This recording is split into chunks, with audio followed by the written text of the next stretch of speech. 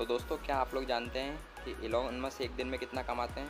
तो चलिए मैं आपको बताता हूँ। इलोन मस्क एक सेकंड में तीन हज़ार डॉलर यानी लगभग दो लाख रुपए कमाते हैं और इसके बाद आता है कि वो एक दिन में कितना कमाते हैं? तो वो एक दिन में कमाते हैं three fifty three million dollar और दोस्तों इलोन मस्क एक दिन में एक हज़ार लेम्बोर्गनी खरीद सकते हैं।